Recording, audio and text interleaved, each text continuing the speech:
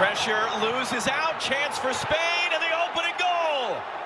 Yeremy Pino, in just his 10th ever appearance for Spain, has given them the lead inside three minutes.